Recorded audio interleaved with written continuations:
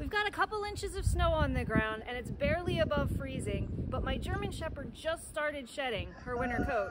So I know that spring is just around the corner which means it's time to start thinking about the garden for this year. Got a $100 gift card for Christmas, so I wanted to use it to see just how much food $100 could grow in a garden.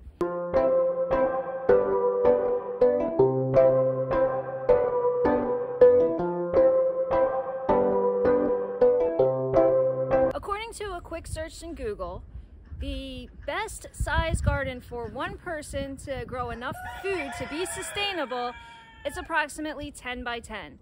There are two adults living in my household, so I chose a 20 by 20 plot of land to start my $100 garden in.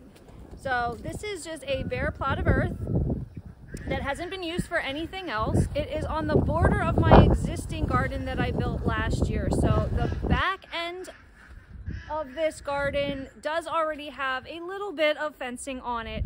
In one corner is my brand new compost pile. So the main idea of this challenge is to take a 20 by 20 piece of land that doesn't have any existing infrastructure or minimal infrastructure like mine does, and only investing $100 see just how much food you can grow throughout the year.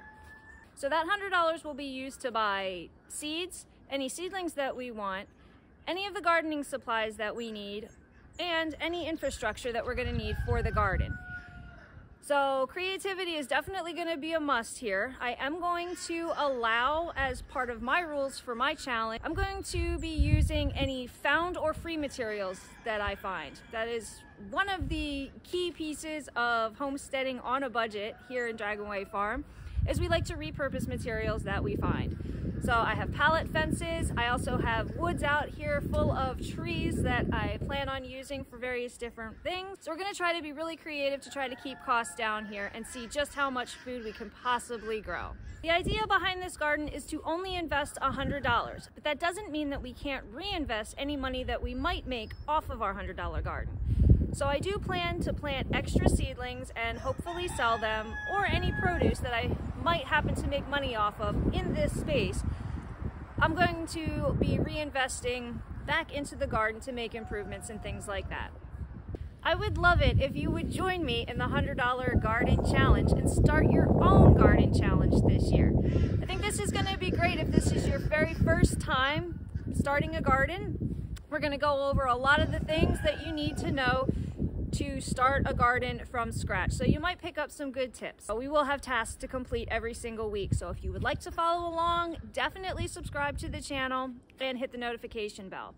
And for a deeper experience on our website, we have a forum page where we have set up the $100 Garden Challenge forum so that you can connect to the community and share your own journey, share videos and photos about the garden. We can chat about any issues or inspiration ideas. I just think it would be a really fun way to or to build a community around this little project. So I would love it if you would join me there. All right, the first and probably most important task when deciding to start a garden is to figure out where exactly you want your garden to be on your property. Some of the things that you're going to want to think about when choosing a spot for your garden is is A, what size do you want it to be? Like I stated before, this one is approximately 20 by 20, 20 foot by 20 foot, which should have the potential to feed two adult people throughout the year. We'll see. The second important thing that you want to consider is how easy is it going to be to work on this piece of property?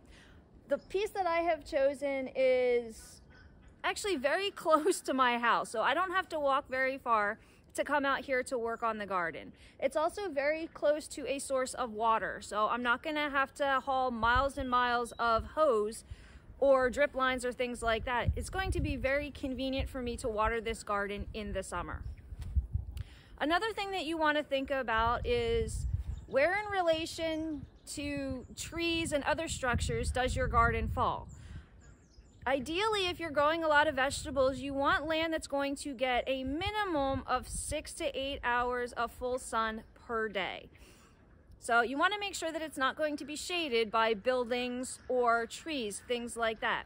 So it's a good idea to go on your property and get the orientation. I know for me, north is by the road, south is the woods. I have west over here towards the swamp and my east is over towards my big field. So I know what the orientation is. Anything on the east side is going to get the morning sun, which is gonna be great to, uh, to evaporate the dew. And if you plant anything tall that might cast a shadow, you're gonna wanna try to make sure that it's on your north side so that as the sun comes around, the shadow isn't going to be cast directly over your garden. So if you have any large structures on your south side or your west side, just know that part of your garden is going to be shaded as the afternoon goes on. So something to be aware of. I want you to figure out what size you want of your garden and find an ideal location that you know the orientation of where it's going to get the most amount of sun. The next thing we want to do for this week is to figure out what our USDA grow zone is. Now this is important because it's going to let us know what our first predicted frost date is for the spring and what our last predicted frost date is for the fall. So this is really important for letting us know the optimal time to start seeds. Find your garden zone. Simply go into your preferred internet search engine and type in, what's my garden zone? It'll bring up the USDA plant hardiness zone map. And it'll prompt you to enter your zip code in order to find out what, what your zone is. So I'm gonna enter mine. And it shows me that my hardiness zone is 7A. When is my first frost date? Zone 7A. You can see here you have 7A and 7B. My first frost date in the fall is going to be October 15th to October 31st.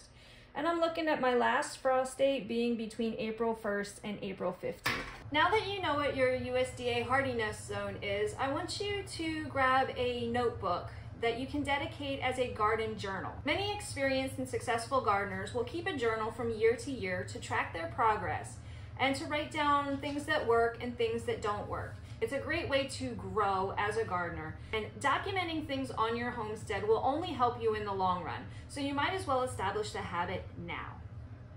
Once you have your journal, you're gonna wanna get a calendar out. Write down when your last expected frost date is in the spring, and then you're gonna wanna count back eight weeks, six weeks, and four weeks from when your frost date is. And this is gonna let us know when to plant things. Uh, next week, we're gonna start choosing varieties. So now that you do know your grow zone, you can go through some catalogs and start thinking about some of the items that you may want to grow. Any items that you routinely buy at the store are probably a safe bet of things that you're going to wanna grow.